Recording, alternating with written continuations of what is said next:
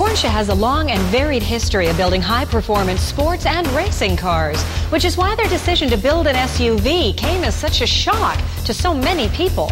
You know what, Dagmar? It's not as revolutionary an idea as you might think because Porsche has been competing in off road events and winning around the world. One example would be the Paris Dakar Rally. What they do is they take their 911 cars and they modify them, and they've come up with some very sophisticated all wheel drive and anti skid systems.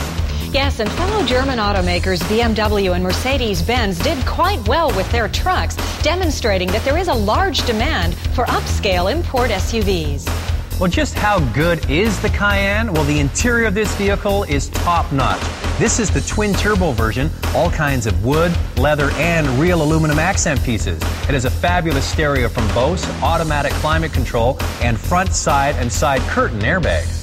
There's enough seating space in here to fit five adults. Now, that's more than you can say for the Porsche 911. Plus, there's also 19 cubic feet of luggage space in behind the rear seat. And folding down the rear seat, triples the amount of cargo space. And I think you can pretty much park a Porsche 911 in here.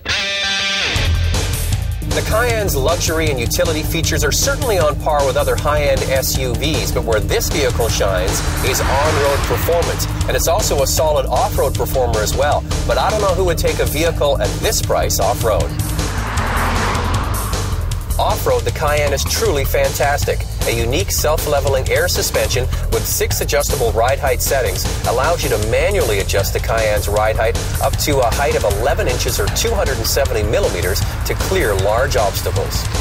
A six-speed automatic Tiptronic transmission is featured in this vehicle. You can drive it in the regular D mode or you can slide it over to Tiptronic for spirited driving. Now this is a permanent four-wheel drive system with 62% of the torque going to the rear wheels and 32% going to the front wheels. But up to 100% can be shifted either front or back for optimum traction. So it really is quite a sophisticated four-wheel drive system. My complaint is when you drive this vehicle in regular D or drive mode, it really takes a while to kick down a gear for ultimate driving. So for spirited driving, slide it over to Tiptronic and do the shifting yourself. The Cayenne S has 340 horsepower out of a 4.5 liter V8. Now we're driving the twin turbo Cayenne that gets a whopping 450 horsepower out of the same 4.5 liter motor. But what's incredible, it weighs 2,300 kilograms or 5,200 pounds, but can go from 0 to 60, hold on,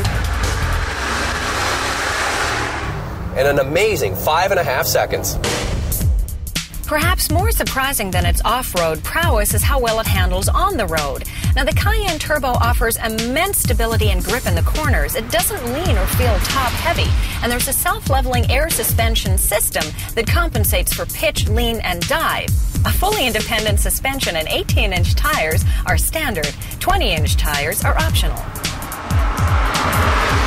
Perhaps the only thing that I didn't like about the Cayenne's driving experience was the rather wide turning radius.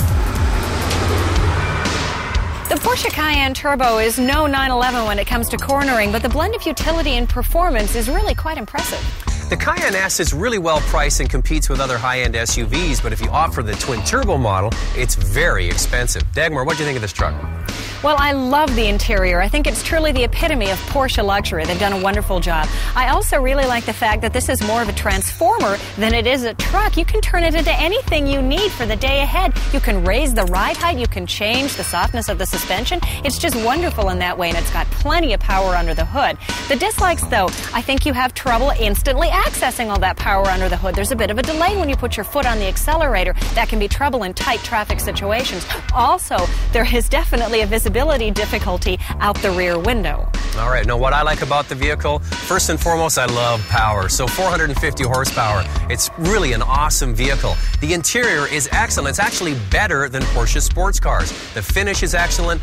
Five full-size adults, very comfortable, seated in there, and the rear cargo area is bigger than other vehicles in this class. The downside, when you have the vehicle in drive or just basic D mode, the transmission, that's what Dagmar's talking about. There's a bit of a delay. Takes a while for that transmission to kick down. Also, the drive-by-wire throttle is very sensitive at low speeds. The big downfall, though, the price. You can buy a Porsche sports car and a second SUV for the price of this beast. I give the Cayenne Twin Turbo a 4. What do you give it? I also give it a 4. That's an 8 out of a 10. Now, Dagmar, you mentioned this is the vehicle that men and women would both like. I think it's the ultimate poser vehicle to have a truck and it's a Porsche. I'll get the camera.